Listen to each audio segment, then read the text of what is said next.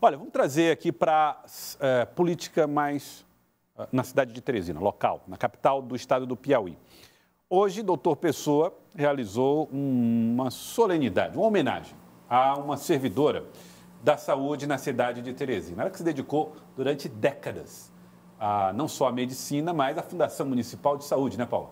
Sim, Joelson, são cinco décadas de, de, de, dedicação à medicina e dessas cinco décadas, mais de duas, só aqui a cidade de Teresina, é, a doutora Amarilis Borba recebeu hoje uma homenagem da Prefeitura de Teresina, do prefeito doutor Pessoa, no Palácio da Cidade. Vamos acompanhar.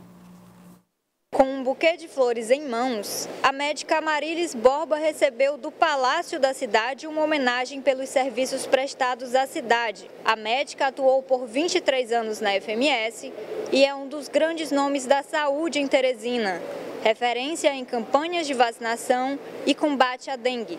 Dentre as memórias que traz, a Marilis destaca o trabalho que desenvolveu enquanto pediatra. Quando a gente tinha o centro de reidratação oral lá no Hospital Infantil Lucídio Portela, que um domingo chegou uma senhora com as três crianças muito arrumadas, né? claro, com a melhor roupa, e eu digo, e a senhora está procurando o quê? Não, eu vim aqui visitar a hidratação, porque eu gostei muito daquilo.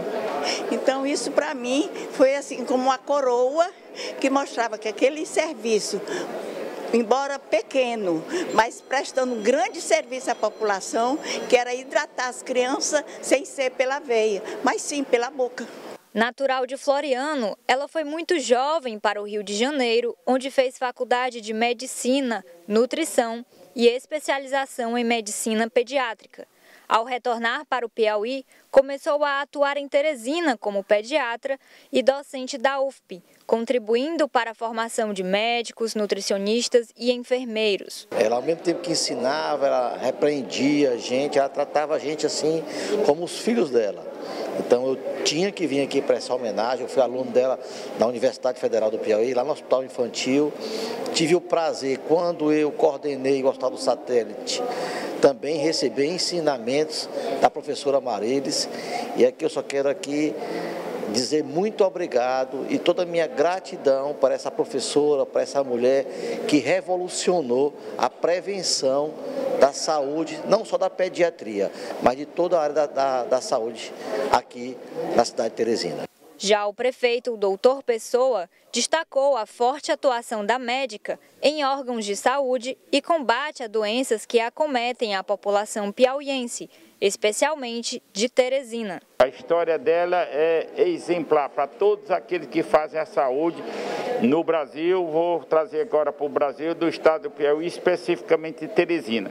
Ela merece muito mais do poder executivo do município de Teresina, por os serviços prestados, pela a, as atitudes sem, sem fugir das atitudes com bastante afinco, com bastante objetividade, cuidando sempre da vida. Com mais de cinco décadas de experiência na área da medicina, a Marilis faz um alerta quanto ao surgimento de novos surtos de arbovirose e de doenças já erradicadas, como a poliomielite. Nós estamos à, beira de ter surto de poliomielite, difteria, é, pneumonia, meningite meningocócica, tudo tem vacina Está disponível, por que não vacinar? Porque a poliomielite, se não mata, deixa com sequela aleijado para o resto da vida. A difteria, eu vi criança morrer. Sarampo, vi muita criança ficar surda, porque teve a complicação do sarampo. Portanto, vacine, por favor, é o pedido que eu faço. Você ver, né? a doutora Marilis Borba vai meio. Essa é minha homenagem, uma homenagem, um reconhecimento pelos serviços que ela prestou até hoje, né? na vida pública, é, mas ela sai da, da carreira pública, ou pelo menos da gestão, mas sai deixando claro que é preciso sempre ter alertas e cuidados com a saúde. A propósito disso, Paula, qual é o futuro da doutora Marilis? Olha, Joelson, a gente conversou com ela também e eu fiz essa pergunta é, a doutora Marilis, que saiu da FMS no finalzinho do ano passado, mas ela não descarta continuar contribuindo com a vida pública, não, viu? Ah, é? Ela disse que ainda está no pique, não mais como antes, trabalhando cerca de 10 horas por dia, mas ela falou que umas quatro, quatro horas por dia ela aguenta ainda, está à disposição para continuar contribuindo com as políticas públicas aqui do Estado e de Teresina também. Sabe, eu tive o privilégio de começar a trabalhar em televisão ao lado da Sávia, né, Sávia? Lá no comecinho ali, a gente trabalhando e tal. E quantas vezes a gente marcou entrevista com a doutora Marilis Borba para entender mais sobre saúde, hein, Sávia? Olha, nos bastidores aí ficava aquele medo de ligar, de marcar entrevista com a doutora Marisa, porque ela era sempre muito apressada, estava resolvendo todas as demandas da saúde, então a gente ficava ali meio tenso de falar com ela por todo esse profissionalismo que ela sempre demonstrou. E acredito que a homenagem a ela é simbólica, é a ela pessoa profissional que é, como a Paula explorou bem na matéria que a gente acabou de conferir, mas também a ela como representativa do compromisso